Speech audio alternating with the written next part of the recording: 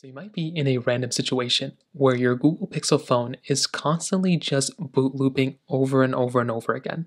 So maybe it'll show up the Google logo like this, it'll go through its initial panel, and then it will shut down right after. Now, if you have a pretty new Google Pixel and you're not familiar with custom ROMing or rooting or anything like that, then this tutorial is for you. But if you are custom ROMing your phone and rooting it and all that stuff, then there might be a bigger issue. You might have to watch a different video the very first thing to keep in mind is that the charger that you're using, if your phone is dead and it's constantly rebooting like this, you might have to try a different charger. Sometimes the charger might be very slow or might be finicky, and your phone might actually be dead and it might not have enough power to even kind of go through. Now you can see I just unplugged my phone.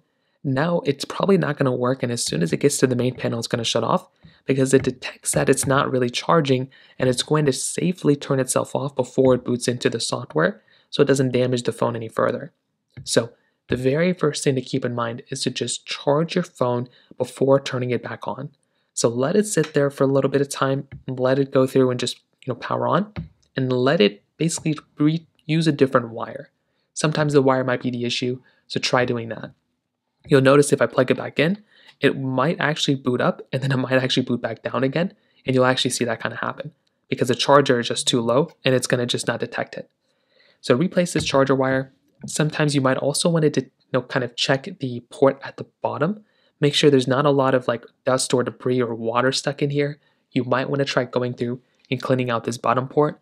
And you can also try basically trying to see if you can wirelessly charge your phone. If the charger like wire is not working, try going through and wirelessly charging your phone and see if that causes any difference. So, those are pretty much the main ways to do it. If you have any other thoughts or questions, please let me know in the comment section below. Hit the like button, that would mean so much, but definitely hit that subscribe button. More importantly than everything else, I love every single one of you guys. Hopefully, I'll catch you guys in the next video. Peace out till then.